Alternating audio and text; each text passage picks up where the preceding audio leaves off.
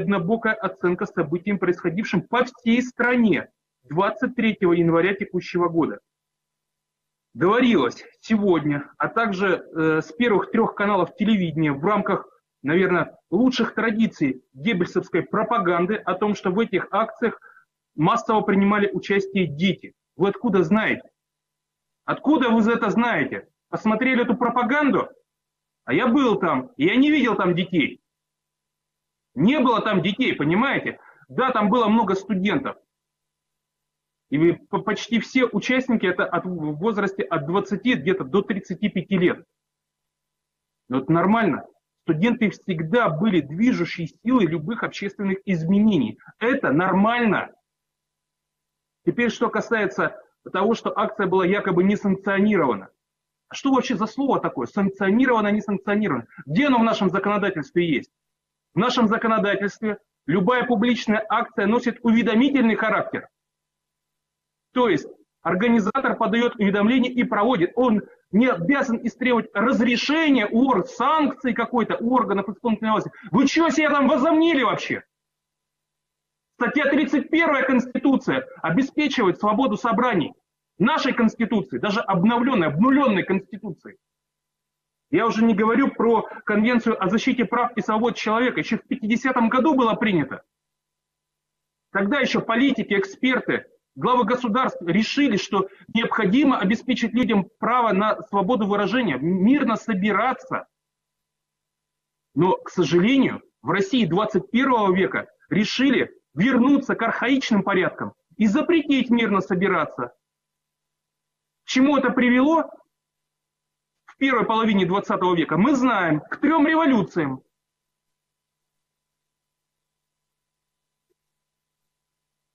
И раньше-то было согласовывать эти акции очень сложно. Я как житель Некрасовки могу сказать, что неоднократно пытался проводить митинги просто за чистый воздух против выбросов мусоросжигательного завода. Нам ни разу не согласовывали митинг в Некрасовке. Ни разу. Единственный раз мне это удалось добиться через Лефортовский суд. Путем признания незаконным отказа префектуры ЮВАУ. Во все остальные разы нас отправляли в Сокольники. То есть мамам с детьми, которые дышат этим э, воздухом в первую очередь, пенсионерам им предлагалось на автобусе на двух ветках метро из, Некрасов, из Некрасовки ехать в какой-то загон в Сокольниках и там рассказывать о том, что в десятках километрах отсюда дымит МСЗ-4. Это ненормально. Это вообще убивает всякое право собираться мирно. Оно делает его невозможным, нереализуемым. Так мало того, э, постановлением Конституционного суда от 2013 года э, констатировалось, что законодателю необходимо обеспечить и законодателю и органам власти в каждом районе, в каждом районе площадки для проведения митингов. То есть в каждом районе человек, поликлиники нет, детского сада нет, он имеет право выйти на улицу, на митинг. Это право его, предусмотренное Конституцией и закрепленное Конституционным судом. Но 5 марта прошлого года мэр Собянин взял и отменил это право. Он запретил собираться, он запретил людям говорить о своих проблемах. Запретил мирно собираться. Естественно, после этого э, городской комитет КПРФ неоднократно, более 10 раз, насколько мне известно, подавал уведомления о проведении митингов.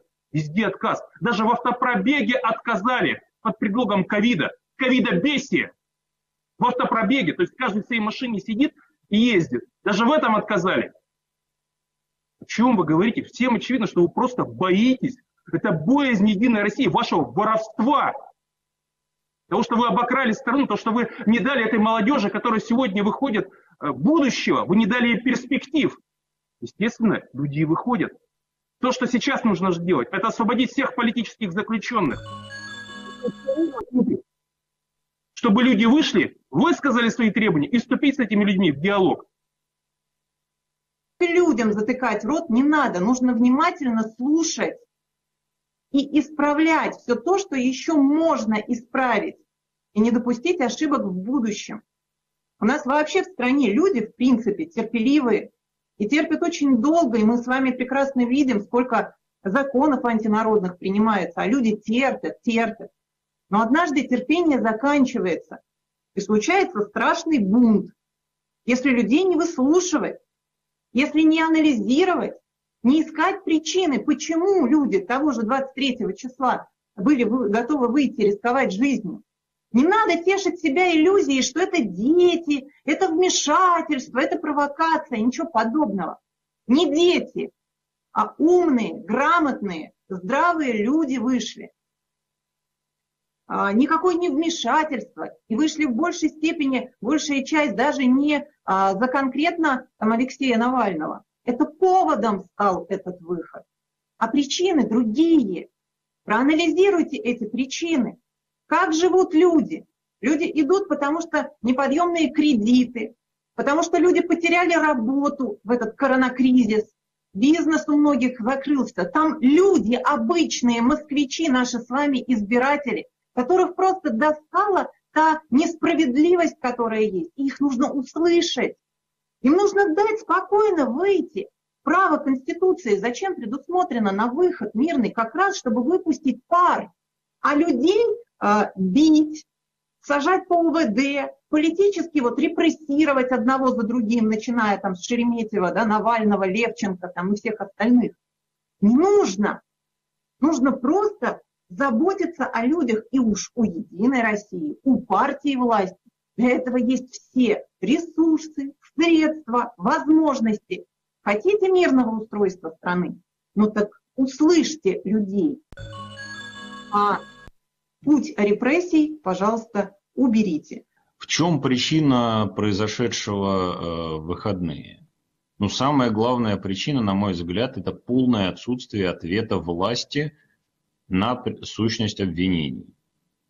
И даже то, что потом было уже после этого сказано «нет, нет, дворец не мой», ну тогда возникает вопрос, а почему там э, охраняет ФСО, откуда бесполетная зона?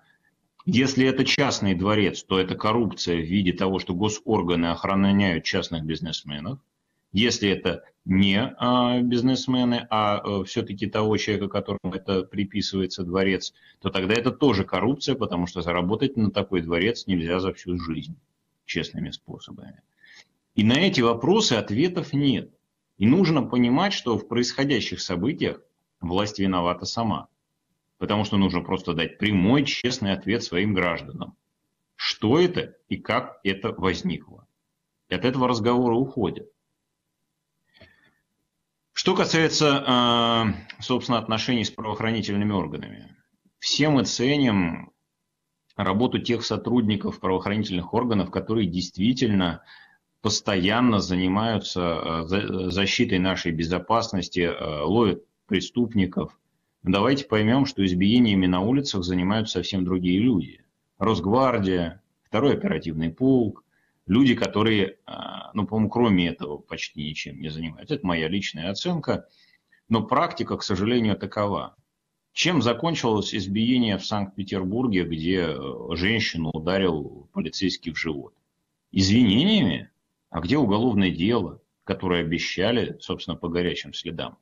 И должно быть оно, потому что если одна сторона противостояния будет наказана, а вторая за гораздо более тяжкие преступления в виде злоупотребления полномочий, в виде насилия со стороны э, органов власти будет оставаться безнаказанной, это будет вызывать гораздо большее раздражение.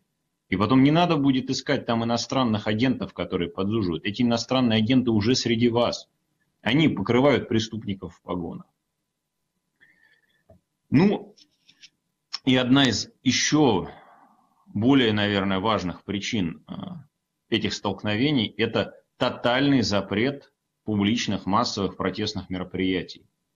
У нас за последний год, по-моему, ни одно протестное мероприятие не согласовано.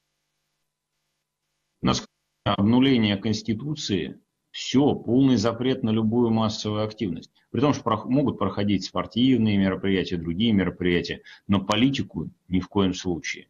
Так власть сама, сама создает все эти вещи. Создает именно этим беспределом. И, к сожалению, ни правоохранительные органы, ни юстиция в эти вопросы не вмешиваются. Я считаю, что э, эти вещи не могут быть э, предметом молчания.